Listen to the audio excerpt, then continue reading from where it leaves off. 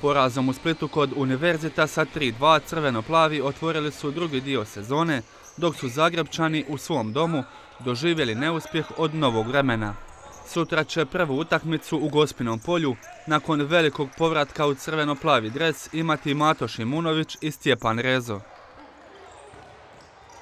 Povratak nije bio planiran, eto sam, odlučio sam na poziv iskluba dat, dat ruke koliko mogu, koliko mi dopušta zdravlje i, i obaveze.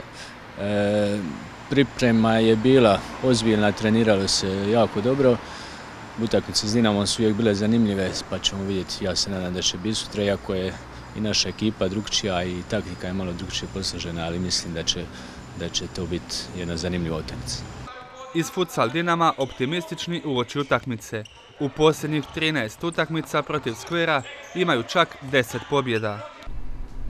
Pa leži mi, to je ekipa za koju se uvijek dobro pripremimo.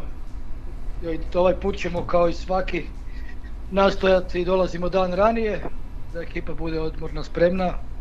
Skver cijelimo, poštujemo, znamo koliko su nezgodni i tako ćemo pristupiti utakmici.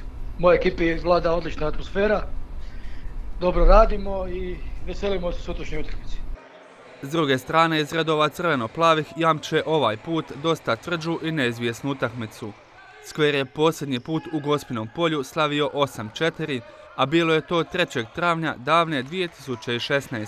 I svakako fizički mislim da smo na, na velikom, na jako dobrom nivou da, da to bude opet rezultatski neizvjesno i da možemo doći do tri boda.